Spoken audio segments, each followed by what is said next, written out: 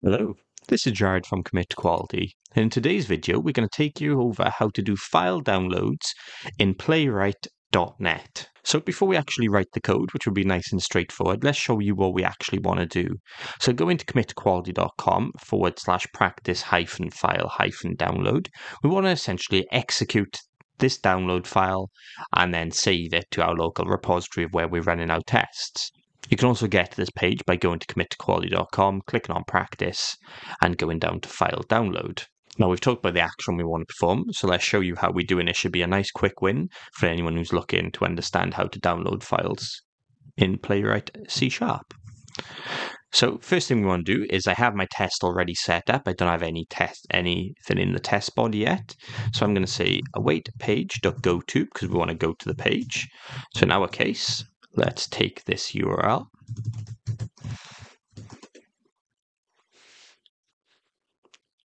Now, the next thing we want to do is we want to set up a task that's going to wait for the download to actually need to be happening. And then we want to action the click and then we want to save it somewhere. So first of all, we're going to say var wait for download task. And we'll set that to page dot uh, wait for download async. Can I hover over this as well to understand what it's doing? But essentially, all it's saying is it wants to perform an action then wait and wait for that download to be actioned. We've got the task we're ready to wait for, but how do we actually do this then? Well, let's do our click on the locator. So let's say page dot. I believe we'll use get by text and it should be download file. Yep. So we're taking the text of this button. So this locator will be download file. And of course, we want to perform that click async on it. So nothing new here. We just define our locator and then saying we want to click that button. Now then, we want to say create a variable called anything you want, but I'm going to say download, and we'll say await, wait for download task, which is this task up here.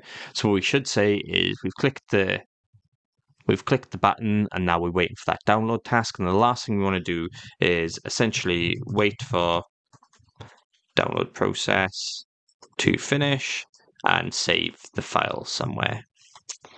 So to do this is nice and easy. We can say await download, which is this variable we just defined here. And we're going to say save as async. And here, all you're doing is you're passing the path through of where you want it to be saved. So by default, if we would say just save it where we execute from, that would actually be in our bin folder. So if I was to right click this and open folder in File Explorer. It's not going to be saved here. It'll be saved from where we're actually executing, which would be inside here. So what I want to say is I don't really want my download file to live in here. I want it to live in whenever I'm executing the repository from. So that's going to be here and then back one, two, three. So back three. So to do this nice and easy, we can say back one, back two, back three. And that means now that this file would be saved into this location.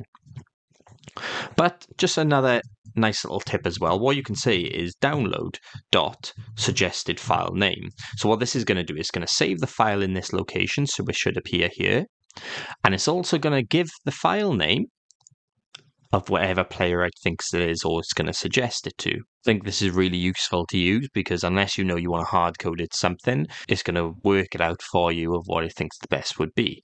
So with that being said, let's rebuild this test or rebuild this project. And let's execute our test. So let's right click run.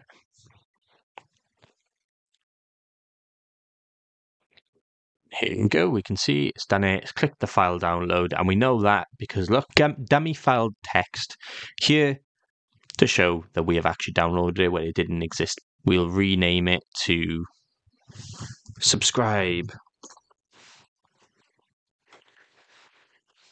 What we're going to see now is the downloaded file is going to happen again, but it's going to be titled with the text of subscribe we are. We've got subscribe here, which of course I didn't have the extension on, but you can see it's still the same file with still text content. But instead of using the suggested name, I've created my own. And that's it for file downloading. Nice and easy. but definitely worthwhile because you can perform this into your task. We might need to download something and analyze the data from it. But as always, if you do have any questions or comments, please drop them down below. A like and subscribe is appreciated. Thank you for watching. Have a good day.